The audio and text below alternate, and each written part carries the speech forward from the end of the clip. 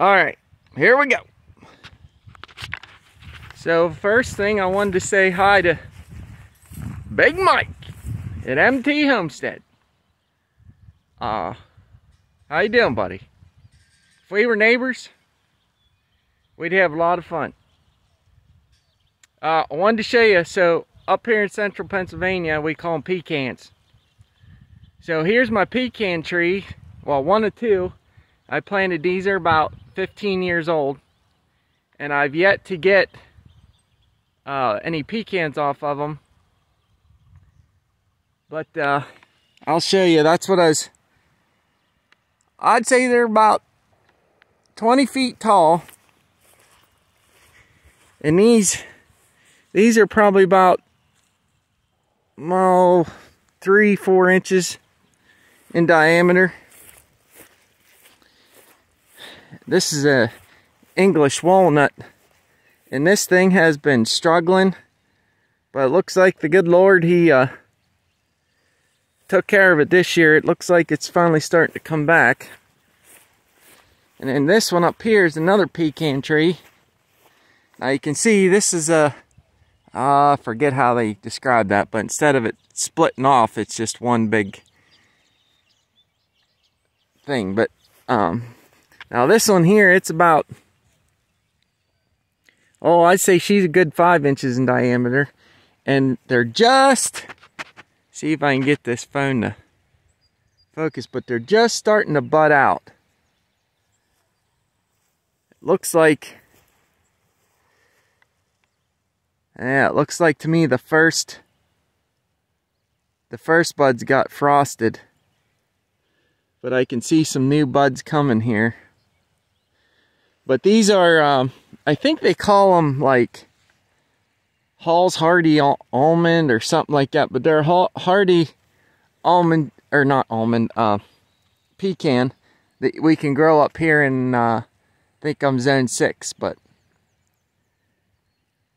anyway, these things are, I think when I bought them, the book said, uh, they're supposed to produce in 15 years, but I've yet to get any off of them. We'll see what happens this year. All right, stand by. Here's the pack. There's, uh, try and zoom in. So there's Maverick and Bubba. He's 13. Maverick's the black lab. He's one of the puppies we rescued. And then we got the farm dog over here, he's, oh, that's a little soggy. He's on protect mode.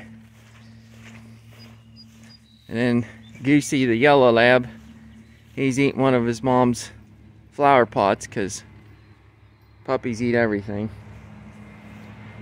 Good boy. All right, stand by. All right, so this is, here comes Raina. She's coming over to say hi. You think I'm to let you out? Hmm? Sweet girl, you're supposed to be paying attention to your mom. She's out there waiting for you. Well, this is what the upper pasture looks like where we have the horse. We let her graze in here. She's got it grazed down pretty good. In the lower pasture, you can see it's all but seeded out. I'm waiting for the uh, crimson clover to go to seed and then I'm going to mow that down. Most of that stuff that's in seed there is uh, Kentucky bluegrass. All right, stand by. Here's a good representation of what your crimson clover looks like. It kind of has the same growing structure as red clover, but it uh, gets really big, like seed heads on it. Now, we're going to walk over here so Big Mike put out a video today, can you have too many chickens? Well, my answer to that is no. So I moved the chicken tractor over here. They're in uh, this about acre, acre and a quarter where I uh, raise my pasture pigs. So they're doing some fertilizing over here. I'm gonna, I gotta till all this up and replant it here eventually, as soon as I get my no-till drill. Which is gonna be a big investment, but through the REAP program here in Pennsylvania, you can get reimbursed for most of what you spend on it. Um, they do it through carbon credits, and then you can sell your carbon credits and get most of your money back. But you gotta pay tax and stuff on it, which taxes are, in my opinion, completely illegal. But whatever. What do I know? I'm just a whatever. I ain't even going to go there. It just makes me angry. Anyway, so the more chickens you have, I got like 18 in here. Um, I'd like to have 50. Because um, then you can, they'll put down more fertilizer quicker. You can move them faster.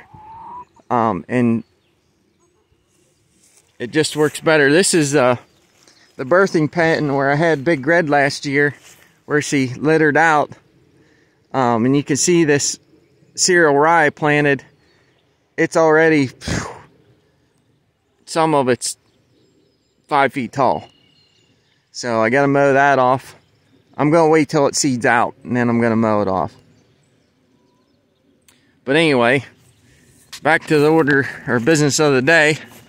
Big Mike, it's been raining up here in central PA for, she's pushing six, seven days now straight.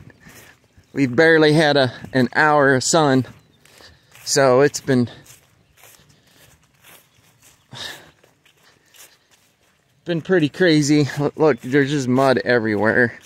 Of course, with having four dogs, that doesn't help anything with uh, keeping the mess down in the house, but it is what it is. We love our animals, so we're going to take care of it. Now, you commented on that one video that uh, you like the finish on the floor, so I'm just going to show you here this is what it looks like now.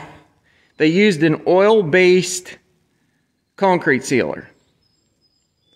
And I know exactly what you mean about finally getting your chicks moved out. Although, my boy, this is his garage. He, I don't have a dime in it. We built this loft this weekend. I got most of the stairs put in, but we ran out of uh, 2 by 12s for the tread, so that's as far as I got. I'm getting ready to hang up a light here for him, but uh, yeah, those stinking purple martins keep flying in here. They're so stupid. Anyway, I quit chasing the bird. Make you guys dizzy. Uh, anyway, so the concrete finish, it you, you see how it's fading out here, and the best I can gather is it's just curing, and that's what it does or whatever, but it's really smooth, real easy to sweep and stuff, and it, it works out really good.